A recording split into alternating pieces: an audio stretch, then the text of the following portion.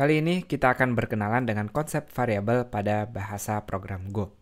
Variabel adalah cara kita memberikan nama untuk suatu nilai. Kenapa kita berikan nama? Agar lebih mudah kita referensikan nanti ketika butuh dari nilainya itu.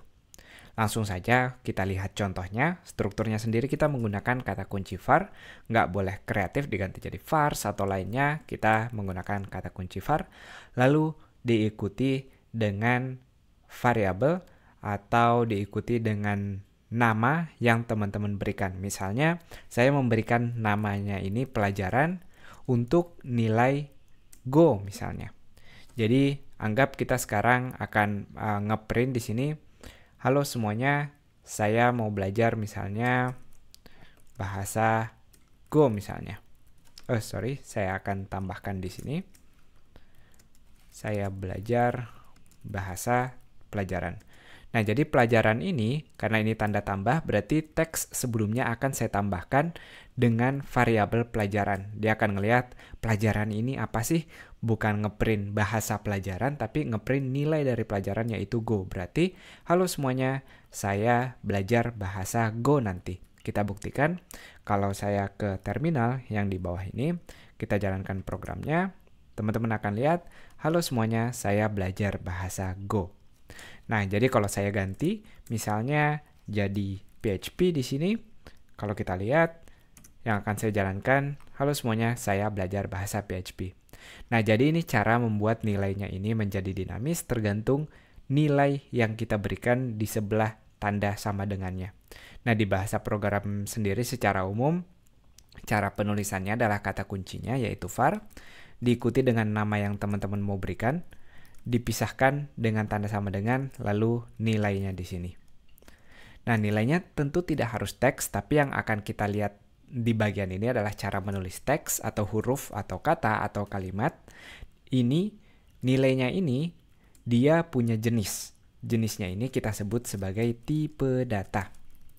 Nah, untuk yang jenisnya seperti ini, ciri-cirinya kita taruh dia di dalam tutup kurung dan buka kurung. Ini kita sebut tipe data string. Jadi setiap variabel dia punya tipe data. Kali ini yang kita lihat adalah tipe data string. String dia bisa huruf, dia bisa kalimat, misalnya PHP dan Go di sini. Saya tuliskan. Maka kalau saya print sekarang, teman-teman akan lihat saya belajar bahasa PHP dan Go. Biar nggak kepanjangan, saya singkat dulu seperti ini.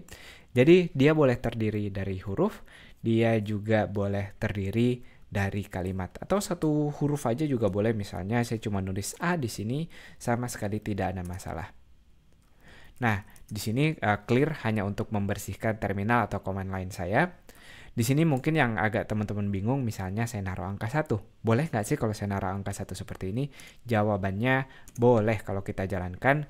Dia akan ngeprint sesuai nilai apa pun yang kita taruh di dalam buka tutup kurungnya ini. Nah, jadi untuk tipe data string, apa pun yang teman-teman masukkan di sini, itu yang akan dia print. Nanti kita akan lihat bedanya apa sih dengan tipe data angka biasa, tapi untuk sekarang kita fokus dulu ke bagian stringnya. Nah, kita bisa mulai memainkan format print lainnya ini, misalnya saya mau bikin nama variabel pertama pelajaran 1, kita beri nama go, dan untuk variabel pelajaran kedua saya beri nama PHP di sini. Jadi kita bisa memainkan bukan lagi pelajaran, tapi harus sesuai dengan kata kuncinya yaitu pelajaran satu. Dan saya kombinasikan lagi dengan tambatan tanda tambah lagi dengan tulisan go dan juga pelajaran 2 seperti ini. Kalau kita coba print, teman-teman akan melihat saya belajar bahasa Go dan PHP. Nah, jadi kita bisa mengkombinasikan berapa banyak pun berapa banyak pun string dengan cara seperti ini. Atau misalnya saya menggantinya di sini menjadi nama depan misalnya. Dan yang kedua saya berikan nama belakang. Ngomong-ngomong di bahasa program ini lumayan umum kalau kita menggabungkan dua kata menjadi satu kita bikin dia istilahnya camel case atau dibikin kata keduanya menjadi huruf besar tapi tetap disambung tidak dipisah seperti ini biasanya dibuat huruf besar seperti ini atau dibuat underscore seperti ini juga boleh Nama depannya misalnya saya taruh Hilman, nama belakangnya saya tulis Ramadan. Saya akan ganti tulisannya di sini. Perkenalkan, nama saya. Teman-teman bisa tebak, yang saya taruh pertama adalah nama depan, ditambahkan dengan nama belakangnya. Kita cek, hasilnya sesuai yang kita mau, yaitu nama saya Hilman Ramadan. Tentunya kalau teman-teman mau string kosong, memberi jarak di sini, boleh tulis seperti ini, nulis spasi seperti ini. Jadi hasilnya nanti Hilman spasi Ramadan. Nah, kita latihan lagi. Bagaimana kalau kita mau menggabungkan dua variabel ini jadi satu variabel? Jawabannya sangat-sangat boleh. Saya akan tulis di sini variabel nama lengkap. Jadi teman-teman ingat strukturnya kata kunci var, lalu nama yang teman-teman mau berikan dipisahkan dengan sama dengan, lalu nilainya. Nilainya boleh string seperti ini, atau saya menggabungkan si nama depannya, saya gabungkan dengan string kosong seperti ini, dan nama belakang untuk memberikan jarak antara nama depan dan nama belakangnya. Jadi sekarang di bawah saya nggak perlu lagi nulis kedua variabelnya, tapi cukup menambahkan dengan nama lengkap seperti ini.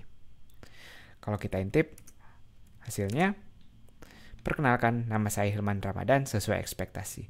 Jadi teman-teman bisa memainkan kata-katanya ini atau memainkan variabel dengan tipe data string. Nanti kita akan berkenalan dengan tipe data lain kita bisa langsung ngeprint dia dengan nama depan aja seperti ini.